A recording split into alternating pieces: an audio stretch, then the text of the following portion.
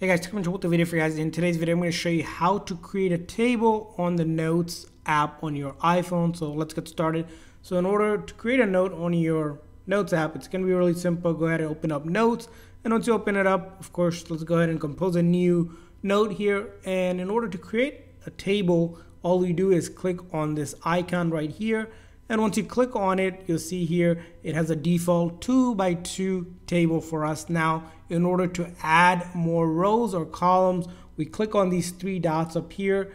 This one, if we click on it, we can add a row or delete a row. So I have a third row. If I click on top here, again on this three dot, I can go ahead and click on these three dots. Let's try one more time. I can add a column. So you can see here now I created three by three and you can see you can keep on adding or by clicking on these three dots each time you can delete the selected row or other rows. So if you click on it as you can see here the icons have changed and you can go ahead and keep on adding rows to it as you like and go ahead and make up and fill on your chart here the table chart that you have. But that's basically how you create a table on your iPhone. I hope this quick video was helpful. If so, please make sure to like and subscribe button. Thanks for watching guys. See you guys next time.